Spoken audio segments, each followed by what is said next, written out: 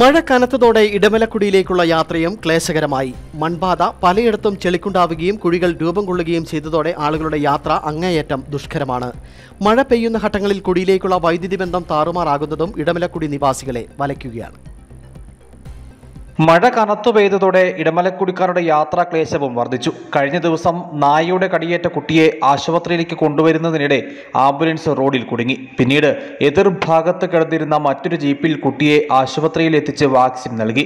ഇത്തരത്തിൽ മൺപാത പലയിടത്തും ചെളിക്കുണ്ടാവുകയും കുഴികൾ രൂപം കൊള്ളുകയും ചെയ്തതോടെ ആളുകളുടെ യാത്ര അങ്ങേയറ്റം ദുഷ്കരമാണ്.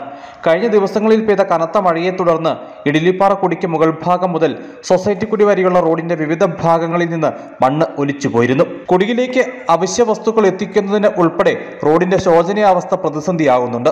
മഴ പെയ്യുന്ന ഘട്ടങ്ങളിൽ കുടിയിലേക്കുള്ള വൈദ്യുതി ബന്ധം താറുമാറാകുന്നതും ഇടമലക്കുടി നിവാസികളെ വലയ്ക്കുന്നുണ്ട്. വൈദ്യുതി ബന്ധം നിലയ്ക്കുന്നതോടെ മൊബൈൽ നെറ്റ്വർക്കും ഇല്ലാതെയാകും.